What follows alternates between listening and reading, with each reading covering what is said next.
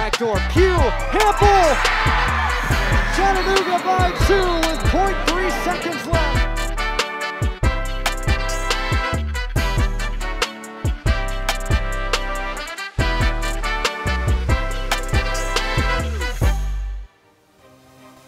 Here we have Burke putting a ton of pressure, and here we have Sigrún coming in and going for that steal.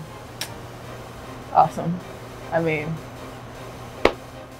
with I mean, the look at that pressure. Like, you were bluffing, kind of threw her off, See, and I don't, I don't be remembering very little details about the game like this. it's funny watching it. I'm glad she got it though. yes. And made the layup. Sigrún with her killer instincts. Yeah. They were running top right here. You know, Abbey Abbey drove. They like to collapse, um, and so Abbey kicked it out, and then then we made the extra pass for the shot. It was good ball movement. Like number 11 got so far down. That's why Addie was open. Here we have Deanna with the ball. The number, Abbey gets it. Number 22 decides to ball watch, and then Mari just goes back door for the layup. They ain't figured out she fast yet. Easy peasy, They like have- lemon squeezy. Yeah.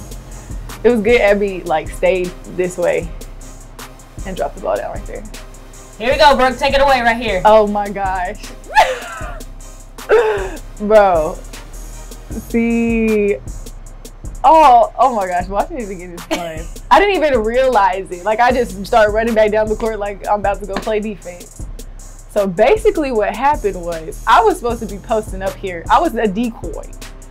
And Mari was supposed to be getting like a pass to a layup. She didn't even catch the ball or tip it or anything. That was the defender. The defender deflected it to me, and I just laid it up. Long story short, Brooke was in the right place at the right time. Yes. Like, if I hadn't made that one, I didn't need to be out there. like, she literally tipped it right to me. And I was like, oh. And then I just start running back down the court, like, I'm gonna go.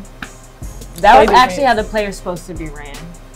That's, that's what was supposed to happen. Obviously. That was it.